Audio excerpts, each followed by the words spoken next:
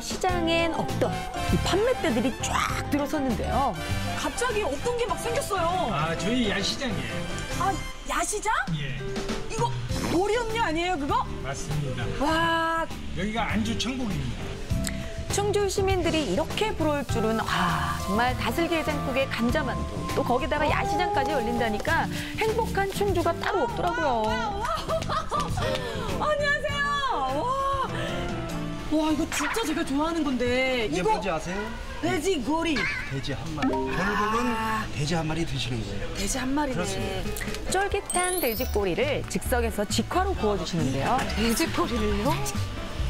말해도 될까요? 그럼 혀가 꼬리를 칠 겁니다 아마.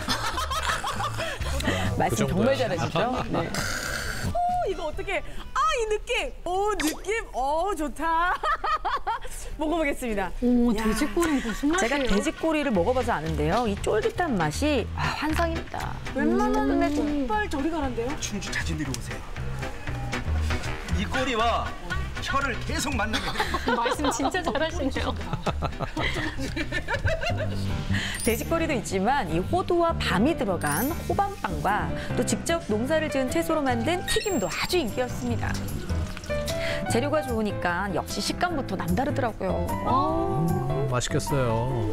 직접 키워서 그런지 뭔가 더 싱싱함이 와닿아요. 와, 부탁 하나 드려도 돼요? 뭐요? 저랑 사진 한장 찍어주시면 안 될까요? 안 되는 게 어디 있습니까? 맛있는 튀김도 주셨는데 당연히 사진은 서비스죠. 아, 근데 왜 갑자기 이렇게 사진을 난데없이 찍자고 하셨어요? 아, 우리 아들한테 보내주려고요. 오늘 연인이 오신다니까 네. 뻥이라고. 아, 증거 사진. 아드님은 지금 뭐 하세요? 아, 작은 아들 운동 선수예요. 운동 선수요? 네네. 아, 원반 하고요. 포포가 있는 거 있어요. 오. 드릴까요? 갑자기 아드님 자랑을 또 네. 저기 보이는 이 투발 선수가 바로 아드님이래요. 근데 이 운동선수 뒷바라지가 진짜 이 보통 일이 아닌데. 네, 여러분 많이 와서 팔아주세요. 그래도 명색이 투포한 선수인데 그 힘을 우리 어머니한테 받은 거 아니에요? 지금 딱 봐도 지금 것 어머니한테. 그쵸? 그러면은 그 에너지 이런 거 한번 보여주셔야 됩니다. 안 오시면 혼납니다. 어머님 뭔가 살벌하게 귀여우신데요? 사장님의 하트 다들 받으셨죠? 매주 금토 오후 5시 이 충주 누리야시장 꼭 놀러와 주시고요.